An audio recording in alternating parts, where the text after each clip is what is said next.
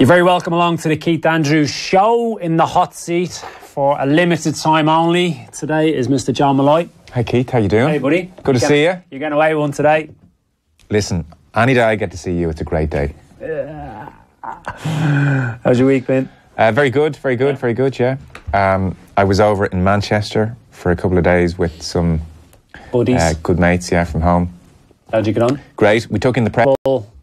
It was one all. It was one, one all. It was against Rotherham. Yeah. Preston are in like nineteenth Yeah. in the table. Rotherham are twenty first. Yeah. So probably two seasons, not two sides not feeling great about life. But I mean, it was uh, it was really enjoyable. It was good, you know. Um, Deepdale's a lovely The stadium. first time you were there? Yeah, Deepdale's a I nice I liked stadium. playing there, yeah. Yeah. I did like playing there. They've just done a good job. It's intimate. There were 11,000 there. There were 700 Rotherham fans Okay. who were down at one end. Yeah. And then there was 11,000, which I'm told is kind of like your minimum attendance that they get. Yeah. And then Leeds might bring 5,000 the odd time or whatever. Yeah, But yeah. it was good, you know. I was saying to Kev, actually, one of the things which really struck me about it, and it's a point that Kev has made before when we sometimes give out about, well, why don't players do it for Ireland Mm. in a big way? It, it struck, and Kev has made this point, but it, it really struck me watching it how low key the whole thing was. You know, it wasn't a massive crowd. There were Mm. not many media. There's not much kind of come to a stop. You Mm. know, um, and then it must be a big change for the likes of Callum Robinson in particular now, Yeah, and Alan Browne and Seanie Maguire, and these lads coming over to a week of national media Yeah. Oh, attention. the spotlight is huge. And it really struck me. I mean, Kev has made this point before. He's saying you don't understand. He said even in lower Premier League level, you don't get much personal scrutiny. You're in, you're out. Yeah. Like Callum Robinson, who was one of the best players on the pitch, if not the best Was player on the pitch. Yeah, I'll give you the best players in a sec, are the Irish lads. But um, he did miss a chance actually late on, which Mm. could have won the game. And he did everything right. You know, there's a ball, he was at the back post, and Mm. defender committed himself, and he sort of peeled off, took it on his chest. Defender was out of it. Yeah. On his left foot, maybe a bit of an angle, left hand side of the goal. But it was a kind of tame side footed effort straight at the keeper. Like he should have walloped it. He should have Yeah. done something with it. now look, the people of Preston have moved on. Mm. It hasn't been talked about for days on end. They probably have another game That's where it is, though, isn't it? Yeah. You're, you're right, and it's, it's it's interesting. You you look at that then in a different light. Mm. Kev's right. Even lower Premier League, unless it's one of the a local derby or if it's a game on the telly when you have to do more media. Yeah. Like in the main, you you don't really get tests. You can you get interview like requests just back, bat them them off. Yeah. Just in and out, going about your business. Obviously, the the spotlight goes on when it comes to results of you both ways. Mm. It's good. It's on you, but I think I think you're right. And then when those lads, it's very very different for them. Very, that really struck me. Very average play, as I'm sure you know. You Yeah, see there yeah. There's a lot of Yeah. blocked crosses or a lot of nothing passes. Robinson, every time he got the ball, really almost every time he did something very productive. Mm. Like he was the best player on the pitch, maybe bar the fella I'd never heard of before, Ben Pearson. Yeah, he's very good In midfield. Very midfield. good. Came Yeah. Ben Pearson looked to me like a 34 year old Senior on the way down. knows how, but he's only twenty, and he's got a bit of tenacity. He does, yeah, really, really good. You'd keep an eye out for him, Yeah. Ben Pearson. He's like skin of long hair, number Yeah. four, middle That's of the pitch. Kev likes him time he got the ball, just their real playmaker. But the other more often than not. Yeah. So the, the first half, the left hand side was on the far side of the pitch to us, and it was all it was a bit All frustrating. It was all down the left, Yeah. and I thought if they if they, if in the second half it's over on the far side, I won't be happy. yeah. But everything kept coming down to him. Right. Like so, Pearson and the other lads were getting the ball. I think they sensed that Robinson was having a good day, Yeah. and they kept giving it to him.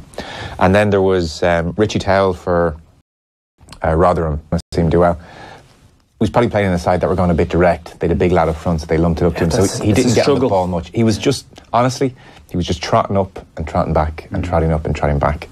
Um, it's a struggle. yeah. It's a struggle for all them and not in those players. It must be. The only other one then to mention is Seanie Maguire came on somewhere kind of 65 minutes territory.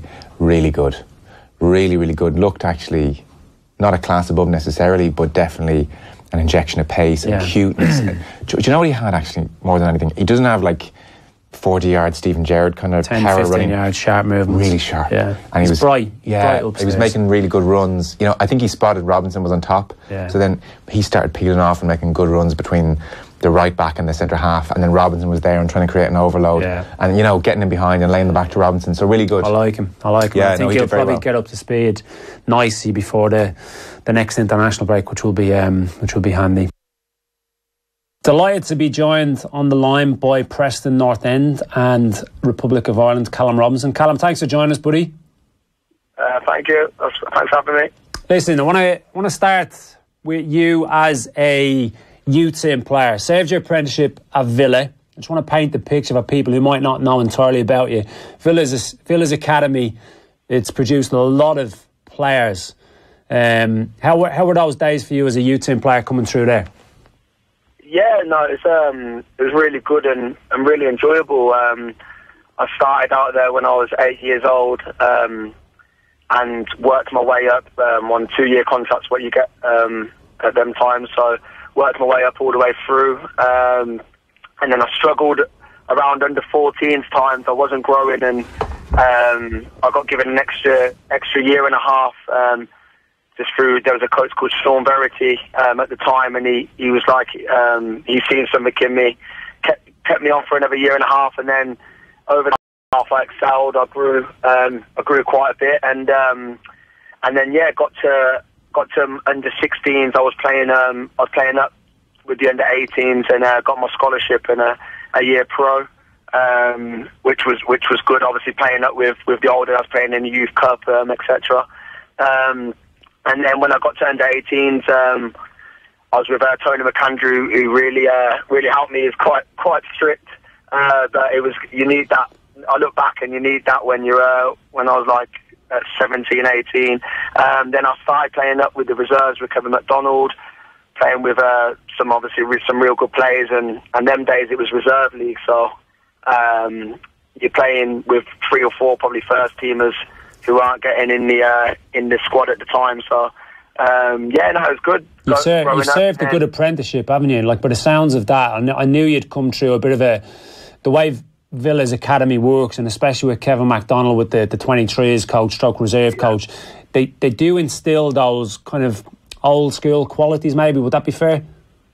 Yeah, definitely. And and now I look back at 23 years old. I look back and you and you now you realise how how much they had a part in me uh, playing now at a real good level. Um, as you said off the pitch, you, you, you, was always a little bit looking over your shoulder because they was on you uh, so much. But at the end of the day, it was it was def- it definitely helped me on and off the pitch. Um, the work ethic. Um, Kevin MacDonald used to do power hours on a Saturday morning, and at the time you're thinking, well, all the fitness intervals and stuff. But um, in the end of it, I got I got up to the top with the, with the first team. Um, at a young age, I was 18 when I was in the first team, so it was uh, it was obviously it all was worth it when when when I look back now, definitely yeah. The next step then, and I'm I'm a big big fan of the next step you made. So you go out, you go out, and you're in the big bad world of the football league. So very difficult to gate crash the first team at Villa, especially when they're in the Premier League. Big finances that they can go and buy players. So you go out and you start to earn your corn in the football league. Tell us a little bit how, how difficult that was when you when you started to make those first few strides in the football league. Yeah, um, well, at the time, I think I played from say around December till the end of uh, one of the seasons in the Prem, like on the bench. And as you said, I got my five appearances, um, and then it got to the next pre-season, and I wasn't, I wasn't, I didn't feel like I was going to be obviously used as much. And I just saw, I think I remember sitting in the office with Paul Lambert, and he he said you can obviously stay and and be around it again on the bench. And I just thought I'd done that for, which was a great experience, but I'd done it for like six months the mm. season before and only made five sub appearances. So then I just said I'd like to go on loan. i would want to go play. And uh, I remember at the time I was, I was like um, to my agent, I wanted to go to the championship. And uh, now I look back, and it was uh, the best decision, obviously, to go to, to League One. I, I don't think I probably would have been fully ready for a championship, but I think when you're young, you believe in yourself. And uh, and then I went to Preston, obviously Preston North End on loan in League One. Um, I think I got about 28 appearances, and, and then that season, obviously, we, we went up, and it, it was good to really. Uh, good to be around, as you said, you're around the team, you're in the first team dressing room. Um, it was quite hard, obviously, on the pitch because you're playing against men and and now I look back and how my game's developed as well in the positions I was getting. I'll stay out wide a little bit, a little bit more uh, then, and just think about one v ones where now I like to get myself in pockets, etc. So, uh, but it was the best thing I probably was the best thing I've done because then in the end I I signed for Preston North End on the back of my loans there. So um, it was a great decision for me. And uh, any young kid what comes in on loan at our place now, always say the, the best thing you'll do is, is get men's football as, as early as possible. Yeah, look, I, I totally agree. I'm with you. Absolutely. I've done the exact same thing myself. And that year that you were speaking about, that promotion year, it, you had to show different traits. I was at and remember playing against you in a couple of the big games and yous were favourites to go up automatically. Didn't quite happen. Yeah. We nipped yous, but then the character then you shown to get promoted, and then the way the club has gone from that. I know this season's been a little bit more difficult, but I think that's only because the bar that you've set at the club is very, very high. But your form has very much gone with the way the team has gone in the last few years. It must be very satisfying to see that kind of upward trajectory that you've been on. Yeah, um, yeah, it's been great, and, and there's, as I said, there's being players who are still still around it, even like the likes of Gally, uh, the skipper Clarkey. There's and then at the time, obviously, me and Brownie were like really young, and and it's nice. And uh, Daniel Johnson, still lads there. There's still a core there where we've done, we've developed and and went forward with the club, and it was a great, obviously, a great season that we've done it in the end, and uh, and then to get into the championship, and then I I come back on loan there that Christmas of the first year in the champ, and and yeah, it's just been it's just been literally like just been going more positive and up as the as the years have been going on. Obviously, a little bit disappointed at the moment considering how we ended last season, but the, the what we did last season and what everyone always says about the budgets and stuff like that um, was if we could have nicked that uh, playoffs, it would have been obviously unbelievable. But um, we got some yeah some real good players, and as you said, myself personally, I've developed as well as the team over the last two three years, definitely. Every every step you've taken up, you've you've done it kind of. I know it hasn't. It probably hasn't been easy, but it certainly looked easy. And the you know League One, Championship, Championship nearly to the playoffs last year. The team did really really well. The bar was set very very high. Then this year, international football. Tell tell us a little bit about because I don't think a lot of people realise how how has it come about. Is it your grandmother's from Monaghan? Is that right? From Monaghan, yeah. So basically, it's kind of funny because I think I was under fifth play. I was going to play for Ireland in two games against Hungary, and uh, basically they couldn't they couldn't find my grandma's um, because basically my grandma passed away when my mum was not stuck, um, and my granddad remarried. So it was, it was it was kind of like hard, and I think under 15s people sort of sort of give up a little bit early. And to be fair to Marco O'Toole, he, he, he was helping a lot. And uh, in the end, we just could we just couldn't hit it. But then uh, I think it was about a couple of seasons ago, and I, I really I really wanted to really wanted to do it. And my mum was like pushing me to do it, but I was a little bit in between being in the championship, a lot of games, and and my body was still obviously growing, and it was like, yeah. oh, do I do I put it out there that I want to, and and it, it was like that for a couple of years, and then uh, my good friend Fads, and I spoke to him, um, and I was just like, I, re- I really want to do it. I, I'm really interested, and I spoke to Brownie, obviously at the club, and then Seanie Maguire come in, and and they was just like, like do it. It would be obviously great for you and, and great for the country, etc. Yeah. And um, and then yeah, I think it was last March. Um, I just put out there. I just put an article. They put an article out saying that I really want to do an interview, and uh, and then obviously from there, I played in the Celtic testimonial. Um, the gaffer rang me and just said like he'd like me to get around the boys. And then I was just waiting on my passport, and then as, as you've said, the last couple of months now I've been involved and I've, I've loved literally every minute of it. The lads are great, staff are great, and I'm I'm just I'm really enjoying it, genuinely enjoying it. And I just, as I said, like for my especially for my mum, it's it's obviously proud every time I step out and and play. So it's a, it's annoying that obviously it didn't go through when I was younger, but least, at least I got there in the end. So. Yeah, so it's a combination of obviously the family background, your mate Kieran Fadden, who who put us in touch as well, so we should thank him for that, and also yeah, the, the Preston Mafia, where all the Irish players there urging you to uh, yeah. to push on. So tell us a little bit about the step up. So we keep on talking about League One, Championship, Championship, one of the top players in the Championship, your goals, the positions you're picking up, getting lots of plaudits and rightly so. Yeah, um, I, I actually I've actually been enjoying it, but it's obviously disappointing with the results we're getting um, at the moment. But I've I've really I've really enjoyed it because you're playing with some like some some real good players. Do you know what I mean? And um, and I've actually genuinely been enjoying it. I think the difference between obviously I would say championship and and the international football. If if you lose the ball, you you don't get it back as quick Yeah. because the level and the the, the players that you're playing with, uh, sorry, playing against are, are very good, and you're playing with some some very quality professionals. So it's one of them where you you have to look after the ball uh, when you have it. Um, but yeah, I'd say definitely. I've, I've I've really been enjoying it, and in training, I've I've loved it, and I've just tried to be as confident as and as positive as possible, and hopefully that's obviously shown in, in some of the little bits I've I've had game time that I've uh, as well. Because sometimes you know, as a player, you respect off the players, but getting my feet uh, with international football, and and yeah, just been I've just been really enjoying it. Yeah. I think you have been with have. I would only imagine that the players are absolutely taking you on board because with the, the type of pace, the power that you have, we need that type of player in amongst us. I'm a striker or I'm a 10 or I'm a wing ice.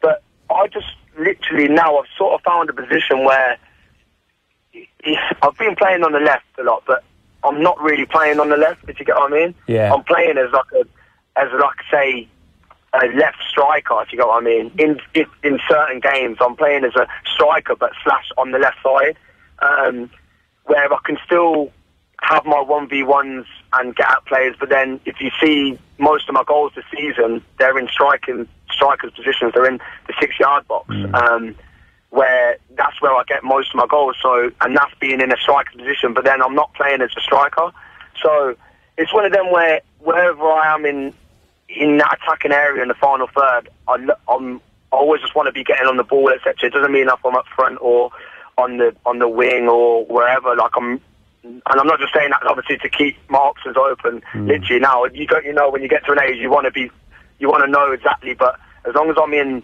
them areas and I'm making sure that I'm in the box as a striker when the ball's getting in the box, but then sometimes I might drop into pockets, as I've just said there, um, and pick up the ball on a half turn. So literally anywhere in that final third, I'm, I'm, I enjoy I enjoy just being around the, in every attack, basically. Callum, I think as long as you keep on that upward trajectory, you're going to be absolutely fine and be a, a big part of what both Preston and Ireland do. You've got Ipswich on Saturday. Wish you good luck at that, and hopefully we'll touch base soon, pal. Oh, thank you very much. Cheers to you. Delighted to be joined in studio by a former teammate of mine for both club and countries, Keith Treacy. Keith, thanks for coming in. No problem, bud. Time you got a little bit lost on the way. Uh, yeah, I was nearly in the Viva at one point, but we got here in the end. Found your way over. Desperate to get back on that pitch. I'm walking over there, man. Right, before we get into some the nitty gritty, I want to I want to bring you right back because something I'm quite passionate about is underage football, grassroots. We would have had similar type of upbringings in terms of the DDSL. Yeah. Um, you obviously came from Sheriff Street, played for Belvo.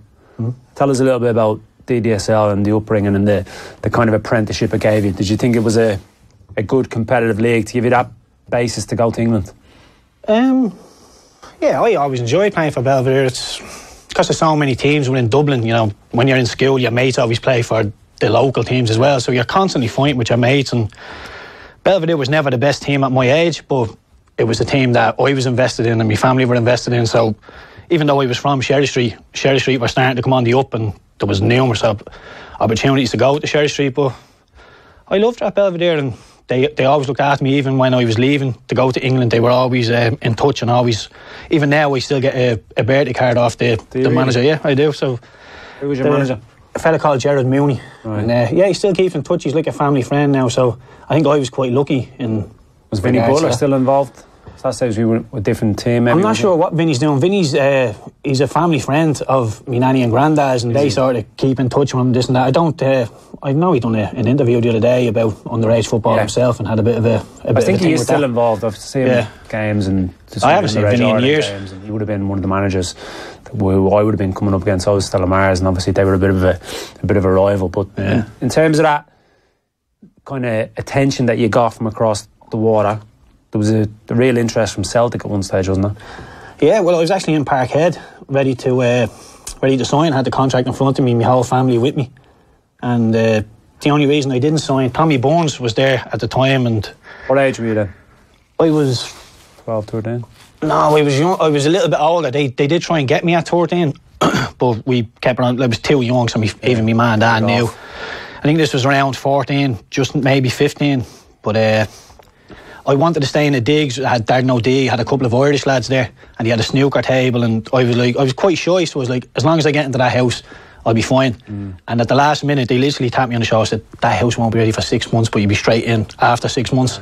And I gave one look to gave one look to my mother. Yeah, gave one look to my mother, and she went, she's not happy. Oh, he's not happy, and that was the end of it. Never turned back. And then Blackburn came in and she was quite happy with Blackburn, my mother again, because because of the dig like, situation. Yeah, it was like Emmerdale Farm. There was yeah. nowhere to get in trouble. That was actually her words. You won't get in trouble here. So, yeah, I fell in there. So were Blackburn in the equation from the off, or did that just happen after Celtic? Uh, no, Blackburn were always number one, so to say. But with Scotland not having a, a youth system, yeah. I was going to be on three hundred pound a week at 14, 15. Yeah. That was more money than my dad was pulling in. So we were like, I was going to go for it just for that reason, yeah. just for the money. And uh, thank God I didn't because I think I would have been quite limited in what happened in my career if I had gone up there. Yeah. So similar to myself, I think junior cert, bang, straight yeah, over. Gone. We homesick. What? How did it work? Because when I went over, I went over at 15, literally after the junior cert, I had a family holiday in Galway for four or five days, and then straight over joined the pre-season a year younger because in England obviously the education system's a little bit yeah. the GCSEs are, are, a year later so we would have been a year younger I was quite fortunate I, I joined with five Irish lads so there was five of us yeah. that were kind of thick as thieves Robbie came as one the other lads didn't didn't go on to make it unfortunately but you had something similar at Blackburn and there was a few years wasn't it yeah I had a few of the boys but to be fair, when I signed, it all sort of fell away because Souness signed me. Well, not Souness, but you know, he was the he was the head, he was the manager and we got to meet him. And I think after two weeks, he went to Newcastle. Mm. So that fell through. But because, like I say, when I went over, I was 15, hush hush. Mm. And when the 18s had a game, if the first team didn't have a game in the weekend, if you had a Monday night game, they throw me in with the first team to train. And quickly, Mark Hughes gave me a new contract, and it all just, all just really steamrolled into a career and ended it very abruptly as well. Tell us a little bit about those those first few weeks, though. So you go over. You used to obviously living at home, living in Sheriff, playing for Belvo, and then if anybody hasn't, most people won't have the, the, the dig situation at Blackburn. It was basically all of the the U team players were were in there, weren't they? With yeah. Mary and Mick, wasn't it? There was uh, sixteen bedrooms, two lads to a bedroom. Yeah. And it was me and you remember Frankie? Frankie yeah, Field? Yeah, yeah. I was in with Frankie and uh, yeah. He's a good lad, isn't he? Yeah, he was a good lad. He got a bit uh, fun time with Frankie had a few nicknames, didn't he? He was a bit weird, but he, he settled me in. Me and Frankie were roommates for the whole time. I think I lived in that house for three years, and then I ended up, yeah, I got my own house when I was just turning 18, so that was who were, the other, who were the other Irish lads there at the time? Was it Gavin uh, Gunning and Gav was there. younger? Gav was a little bit younger. Aaron Doran came later. Ah, Alan George was he came six months later. I don't know why that was. He didn't come the same time as me. Right. He came whether it, he was looking at other clubs or whatever. But remember Eddie Nolan? Yeah, yeah. He was there. Was, for Scunthorpe and that Gavin time, Pearce was there. He was a little bit older, and there was a lot of Duffer was there. Yeah, but like I say, he went to Chelsea Sharpish as well. He was so, scaredy, that's one. Yeah, well, Jesus, that wasn't much to live up to, was it? Walking so in. Who was the youth team manager? Uh, the youth team manager was Gary Bowyer. Ah, was he? Yeah. Was it Gary Bowyer? I thought it was um, Kelly. Do you remember Kelly? Uh, he was there initially. Rob Kelly. Rob Kelly. Yeah, yeah. he loved and me. He left. He loved me as a winger because he was always on at me on me. So oh, we love you here, we love you. He was one of the reasons. We're like, uh, this fella's really nice. I'm going to come here. And again, two weeks later, he was out the bleeding door. So yeah, all the all the reasons I signed for left me straight away. So how did you take to the training, the full time training, and the the kind of the rigour of that going from prime probably twice a week with Belva playing the weekend and you might play on the streets mm. with your mm. mates how did, how did how did you take to that uh, it was fairly easy to be honest because at that age you're not really you know fitness doesn't really come into at 15 you're just running around running after a ball with your mates and I was I want, when I first went over I wanted to prove something to the English players because they've been in academies longer than me and they've all come through and you know the, un, the under 15s Blackburn players walked around with a bit of a swagger, whereas I was under 15s Belvedere just mm. coming over. So we always felt like I had a bit to prove. So we'd always trained a little bit harder and mm. you know mm. leave a bit on the English lads and just let them know that you know just because I've come from Dublin doesn't mean I'm any less good a player as you. And mm. that was always the bit I had between my teeth. And you know we got on to win that left later, I suppose. Yeah. So when you went over, then I remember I was a little bit the same. That was five Irish lads I went over with, and there was a couple of older ones there as well. We used to have five sides against the English lads, and there was that little bit of niggle Yeah. between the two. I don't, think the, I don't think the manager particularly helped by constantly putting us on the same teams. He used to do Ireland versus England and all the rest of it. So there was that element Yeah. of little bit of niggle. The other area I wanted to speak to was Conor Clifford's done a good article recently in, in, in an interview. And he was speaking about the pressure of having to have the Louis Vuitton wash bag, having to have, and I remember even going back to my time, the certain type of runner, the certain type of Yeah. trainer. There was that little bit of pressure. Was that something that was evident at, at Blackburn? Uh, it was evident, yeah. It passed me over. I'm sure you remember. I had, I was getting uh, called a pike and all sorts, but I lived in the dig, so I only ever come down in a pair of shorts, you know, ready to go into my training gear. So I sort of avoided all that stuff. But it was, yeah, it was evident. I knew there's probably players before you came to Blackburn, like uh, Jemal Johnson, and Yeah. there was people like that that just they go out and bike. Like I bought a Range Rover at 17. I didn't even have a driver's license or anything like it. And it's just them things. They're trying to be like the people around you, and yeah, you get like too much too quick. I was at, you were, sorry, you were 18. I went to Blackburn in August 2008. So you would have been 18 then, wouldn't you? Yeah. 18, maybe, no, maybe 17. Going I don't on know, 18. I'm not be- Eight. pretend I can work next, out these Next year. Um, we're born on the same day, remember? Are you 14? Different Yeah. year. 13 September, yeah. All right. Yeah, do you remember that? And Carl Robinson was as well. Remember at the time when he was at, at Blackburn as the coach? no, we've never don't tweaked that, that at all. No. He was obviously a few years Yeah, different, you just were a bit younger. Um, so when I moved there, I was really aware of you as this young Irish lad coming through, and you made you made the the comparison of, or sorry, a lot of people are making the comparison of the new Damien Duff, and so moved there. And in my first game, we are playing at Upton Park, and I don't know whether you remember this.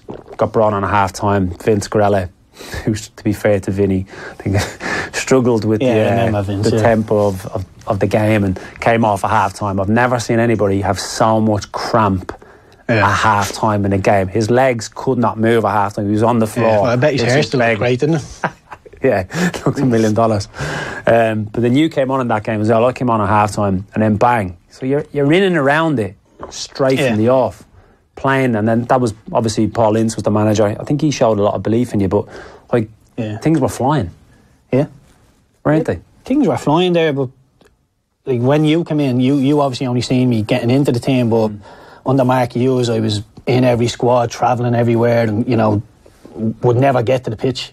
It was everything but getting onto the pitch. Yeah. And when Ince came in, he uh, did you play in that game against Everton? Remember the first game No, of I the saw it the day after. Yeah, that was I. 4 1, wasn't it? Uh, yeah, we were. I think we were losing one. nil. Away, away to Everton, wasn't Yeah, it? Uh, the first game of the season, and it, I was sitting there, and somebody turned around and said, "Keith, go and warm up," and I was like, "He's not bringing me on. We're losing, like in Goodison Park. He ain't bringing me on." And he turned and said, "Keith, come on." I was like, "He's making a mistake here." I was absolutely panicking, but Take that really. I was panicking because the crowd is so close. We're lo- like I yeah. thought, if we're winning three 0 there's just a chance he'd bring me on and you know blood me a bit, but. This was, I suppose, yeah, he showed a lot of faith in me there, and I think we, we ended up winning, so that was a great confidence mm. booster for me. And I remember that West Ham game as well. Do you? 'cause Bellers was playing, wasn't he? Yeah. And he was having a go at Lucas Neill about getting tight to me. Yeah, yeah. And he was calling me all sorts of names while he was telling him to get tight, but yeah, that was the type of Bellers was as well. So you've you've talked about the the Range Rover, and I remember that. So I remember coming to the club and hearing loads about you, seeing it then with my own eyes, seeing how good you were, how good you could be, and then I'm looking at you some mornings and I'm thinking you were out last night or you were out two nights in the bounce, and then oh my, I'm 20, I'm 28 at the time, then going on 28, and look, I've been there. Look, Mm. see it, and so there's, there's a fine line between looking at you and thinking, I don't want to be a dad here. I don't want to be like on you all the time. But then it's a fine line between that and then trying to give you some kind of guidance, some kind of advice. And it, it's difficult because you've you've got all this potential. And I know I know there was a lot of the senior players trying to Yeah. kind of curb you and the Range Rover story. Like, what was the Range Rover story about? The lads off the bus. Um, so you get back from an away game. You might you'll have to fill in the blanks here because I've heard this second, third hand. Yeah, yeah. And I think Graham Souness was the manager.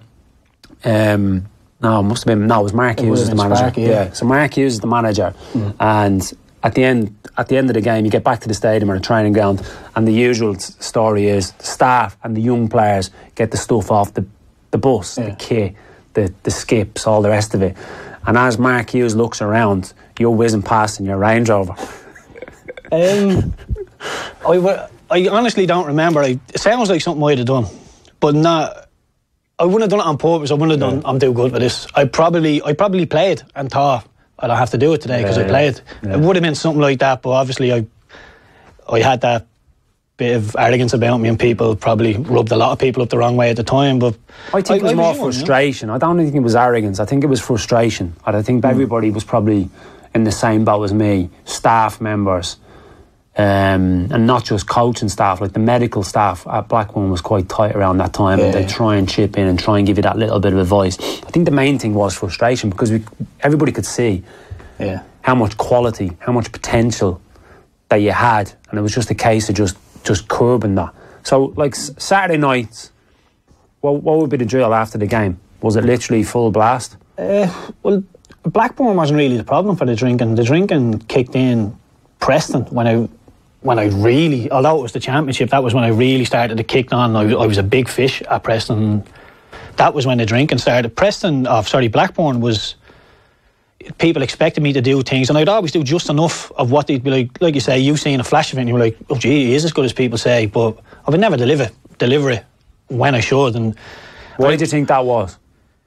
uh, Like when you look back, because again, when I like when I, I had early stages of my career, I had really frustrating times, and uh, drinking culture was massive Yeah. in footballs, and it wasn't a case of just me; it was everybody.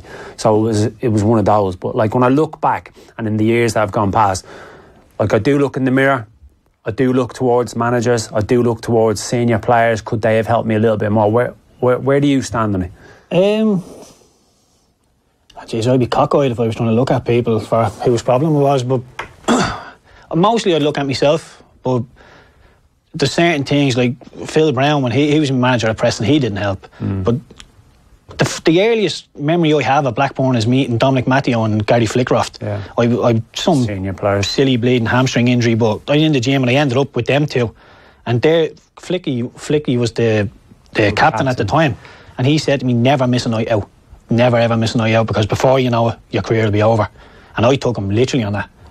Obviously, I shouldn't have, but at 15, you know, you he use the mean? Did he mean like team bonding? Is that what he meant? I'm not sure, but I never missed any night out. Now, whether it was drinking, go kart, whatever it was, I was there, and I, it just sort of struck me, and I couldn't deal with the ups and downs of the game. So drinking was always uh, an escape for me, and I was always young enough and fit enough to be able to have a couple of points and get away with it. Have a couple of points, get away with it, but it starts, you know, you're burning the candle at both ends. It eventually will come to get you. And So what happened at Preston? excuse. When did it? What you're saying that wasn't really the time? When did it start escalating? And what what happened? Was it just eh. became a constant?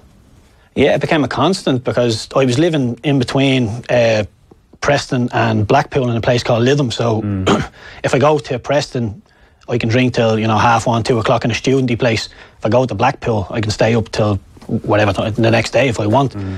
So it was never really, oh, it's a Tuesday night, I can't go out tonight. I would always go out knowing I have a recovery day the next day, but I'd be stinking a drink the next day with the booze and yeah, pre- you know, Phil Brown used to. I was getting injections before every game. I wasn't training. I never ever trained at 21. I wouldn't be. on- But again, I seen that with. Remember, Rocky used to do it. He used to not train. He used to be man Friday. He'd come out and train on Friday, score on a Saturday. Yeah. And they, they were the, Cruz, yeah, yeah. the type of people I was looking up to. And I was like, yeah, I'll do that. I just won't train and I'll play and turn it on and turn it Obviously, off. that was a different different end of the spectrum. He's whatever he was. Yeah, but- late twenties. You're 21. So, like, what what were you getting injections for?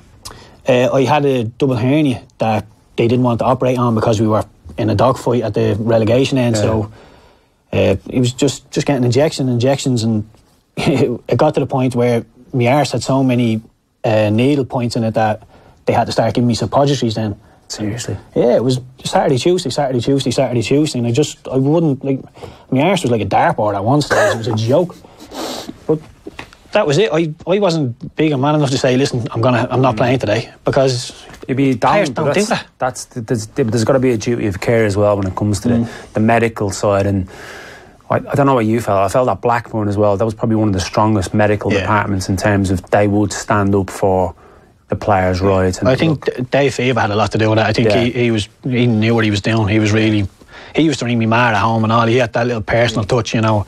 Not not an injuries, you know. If I was ill and I was in up in the digs, he would ring me mother and say, "Listen, it's only a touch of the cold. Don't worry about it." Yeah, Blackburn had that little personal touch that was attracted me to them. Speak, speaking of your mum and your family, like when like when this was going on at, at Preston in particular, when it was like you're going out Saturdays or kicking on or midweeks and all, did they have any idea? Um, I think they knew I was ill, but what was what was the what else was I going to do? They didn't want me sitting in the house getting depressed, so them saying oh, he's out having a drink, they probably thought, oh well, everybody's out having a drink, but you know they they were they never had a footballer as a son before, so they didn't know which way to guide me, and I was telling them everything was all right and. They'd see me on the telly once a month playing half decent or getting an Ireland cap, and they'd be like, "Everything's fine." Yeah. And you, you half the time I'd lie to myself in the mirror saying everything's fine. You know, how can things be wrong if I'm playing for Ireland and playing for Preston and week in week out? Yeah. And uh, I would have been in the same boat. I would have been similar to that in the way that you just try to make it sound like it's so, and they see you every now and again. They speak on the phone, and they don't really know the full extent Yeah. of exactly what you're going through. Like I, I wanted to knock football in the head when I was 21, 20, 22, 23, I'd say. Yeah. I nearly went to America, nearly went on a um, scholarship to, to New York and go and play over there because I'd had enough of it. Yeah. I'd had enough of the culture, I'd had enough of the way I was getting treated by Wolves at the time. Yeah. And I've said to you as well, like, just wasn't right for me. Just just totally fell out of love with, with football. Didn't even want to train.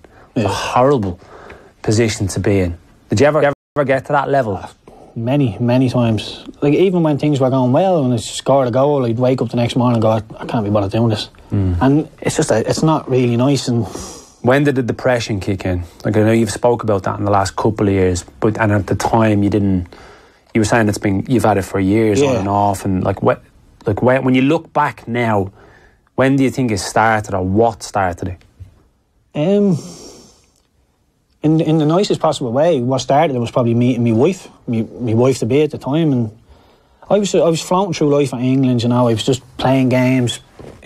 Eventually, things weren't going well for me at Barnsley, and I didn't have the bite between my teeth to get myself going again. I I couldn't kickstart myself, and my wife and the kids were at home. I was like, this just isn't weighing up here for me. The pro, the cons were outweighing the pros all of a sudden, and I just, I actually, we were playing Preston at home in, in uh, sorry, in Deepdale, so I was allowed to stay at home on Christmas Day. And I woke up Christmas, uh, sorry, Boxing Day, and there was blood all over the, the sitting room floor, like, and the taxi driver who was coming to get me to bring me to the game was like, he wanted to ring me man, That was like blood, and I got up and got dressed, got cleaned myself up, and went to do the warm up. And as I, he put me on the bench, thank God, I thought I was actually due to play. As as I turned, we were doing little sprints, and as I turned the sprint, the stadium just started to turn black and black. I couldn't see, and I made some excuse that I had a flu or something, and went in, and I was. He told me to sit behind the bench, and I rang my wife like on the slide behind the bench, and that was it. We went home that day. I, I didn't even tell the club. They actually sent me letters six months later saying. Uh, you've been sacked and blah blah. But this was six months ago, and that's but that's the life of a footballer. It's up and down and up and down. Uh, it they, they didn't help you at all though to try and deal with that or because there's a lot there's a lot made as well about the PFA now I have I don't want to be too critical of them but I think they're very reactive they're not proactive Yeah, yeah, um, so if something comes out they'll jump on that yeah. did they do anything to try and help Um, not. It was somebody from the PFA. Clarke Carlisle tried to help me a lot, but it wasn't in the PFA capacity, if you know what I mean. It was as a mate because I played with him at uh, Burnley and he was coming over to Preston at the time. And I, I see myself in Clarky a lot now. So the only person I would listen to was Clarky, and he had a great way about him. He was really, such a nice fella, and the way he spoke to me really opened my eyes. But there was still a little blip after Clarky that I had to get over. And I think you really have to, re- you have to hit that rock bottom, and you have to either say, "Am I going to get straight and keep going, or am I just going to try and live my life?" And I, I remember, did you ever play with Wayne Henderson? yes I remember he, he came into my house and in Lytham crying one day after a Preston game. He was on the bench and he, he just slammed a whiskey bottle down and he's like, I don't think I'll be able to pick my kids up when they're born. He, he hasn't got any kids. But because his back was so bad, he started sobbing. And I was like, this is a grown man crying. Like, picking your kids up is more important than playing a game of football to me, and it always will be. So when I seen Hendo doing that, I was thinking and thinking if I keep drinking and keep playing here, and I, cu- I couldn't stop the drinking at the time, so I kept drinking and playing. But eventually, I got to a good enough place where, you know, I'm, I don't I haven't drank since November now, so So you're nearly a year off it. nearly a year off. Yeah, Christmas is coming up, so who knows? no, everything's. I'm. This is three years of therapy later, you know, to get all this stuff out and. Like I say, I, I like talking about it now because I think it's a lot of people need to you. hear this. Yeah, well, did you did you know any about the stuff no. when you went over? No, it's none it's of all rose and you're going to be a First and foremost, it's got to help you. Like it's got to, it's got to be beneficial for you. And I think, like the, I read that article a few weeks ago in Yeah. the Herald, and I was honestly, I felt so bad. I felt so bad that I should have done more. I could have done more to try and help you when when I was at Blackburn. But then don't realise to the extent, and then you go off and you're playing at you're playing at Burnley, you're playing at Preston, and obviously I don't, I'm not seeing you on a daily Yeah. basis. Then Well, that, that's not. That's no. Like, um, although I was a child, I, I wasn't. Nobody. It's nobody's duty to mind me there when we're on the football pitch. And but that was it. I what did we train from half ten till half twelve, and I'd be back in my house at half twelve, and you know what, two and a half grand a week sitting in the house. What are you going to do at 17, 18? There's only one thing on my mind, and um, unfortunately, it was on my mind till I was a lot older to reverse what I'd done to my body. what's the plan now? So is it a constant battle to try and stay on top of this with the, the people you have around now? Good people. You just mentioned your wife. You just had a baby as well. Uh, it's not a battle anymore. Um, at the start, it was a battle, but at the start, I didn't realise I was trying to give up drink. I thought I was just, "Ah, I'll give it two weeks if I can, and you know, you start to stretch it and stretch it and stretch it, and before I knew it, I'm sitting here. I'm nearly a year off, and I have no, no ambition to go back to it at all. No ambition to go back to dream. What about football? Uh, if you Not playing at the moment, eh? not playing at the moment, but If you put that in a box, like you were saying, and you're kind of saying that's just not important, not not important anywhere Not- near as much well- as the the family side of things and what you want to do.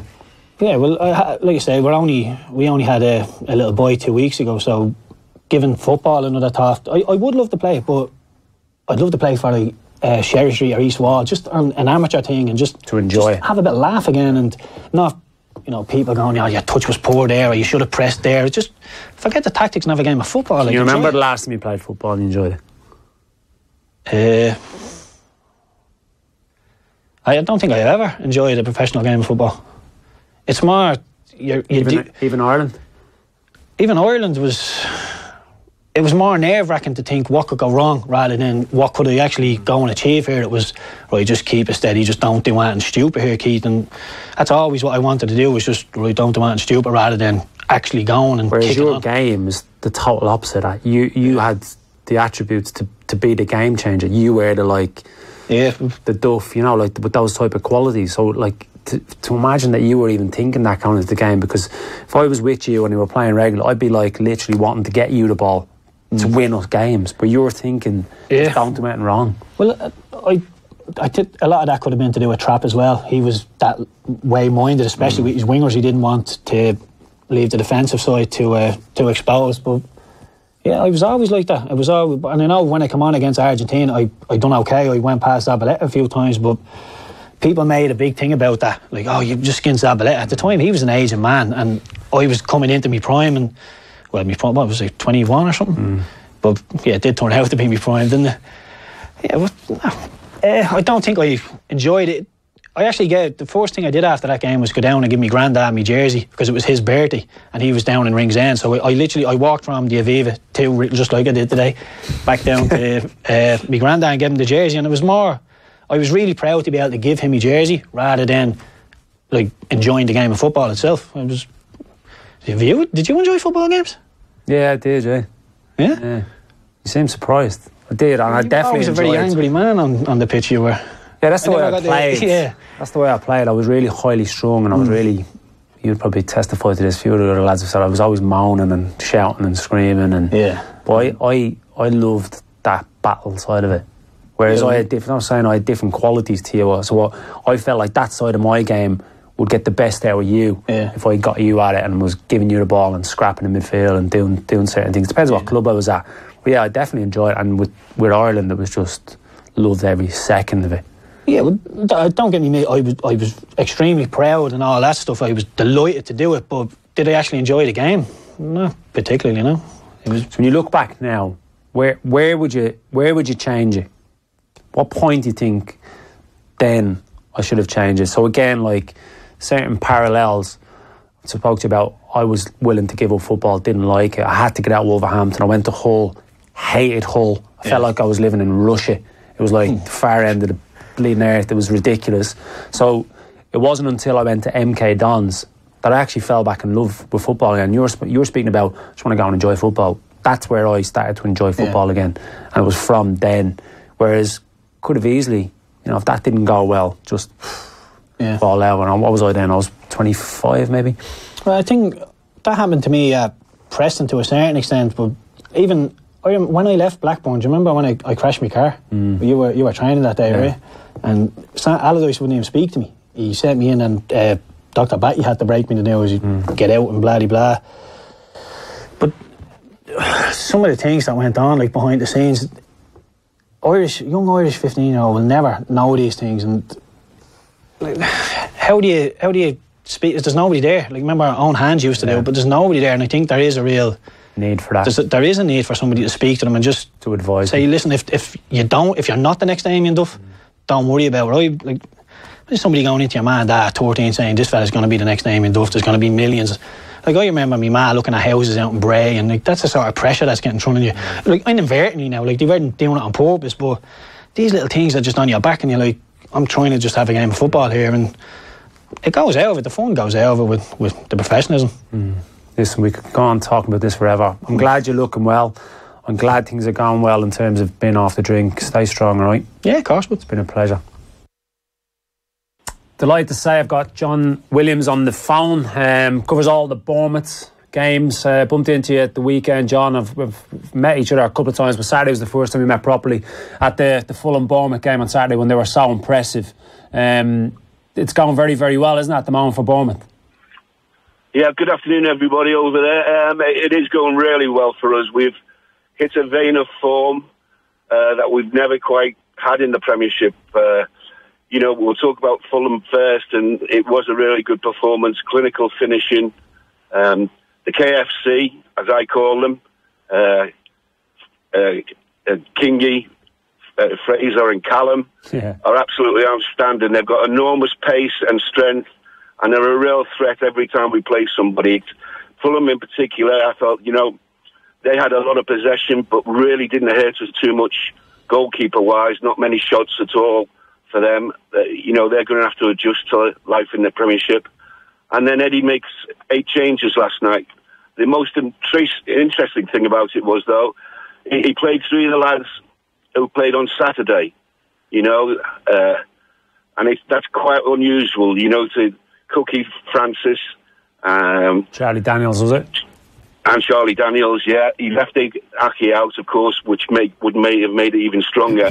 but Norwich were very impressive. And um, Eddie wasn't at all happy with performance. But, you know, when you win and you're not playing too good, I think it might, it's about momentum sometimes. And when I've been in that sort of row of games myself, you sort of you expect to win, mm-hmm. you know, no matter what happens, and that, that was the case last night.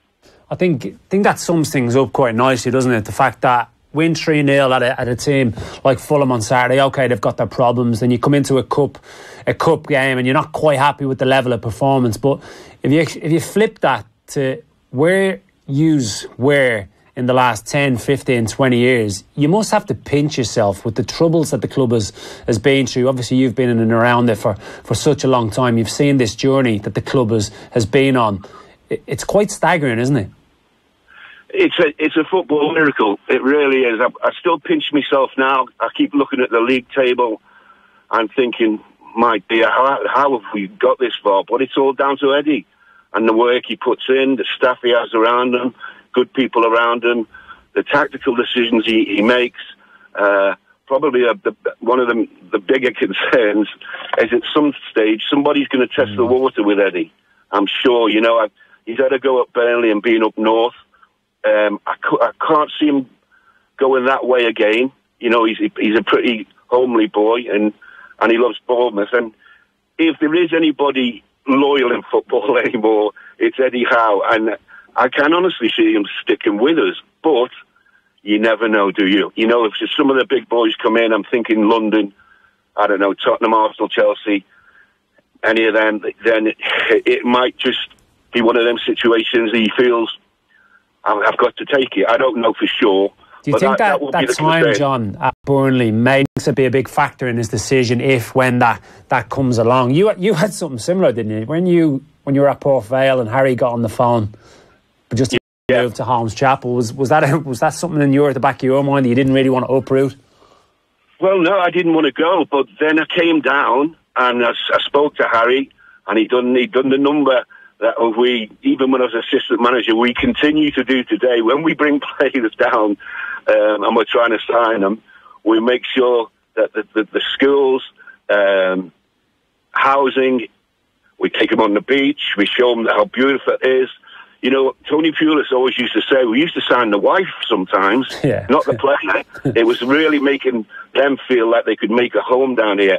And I think that's the case with any. I think those northern boys can come south, but I don't think the southerners go north so well. Yeah. You know, not unless there's a vast amount of money in it and they can't say no.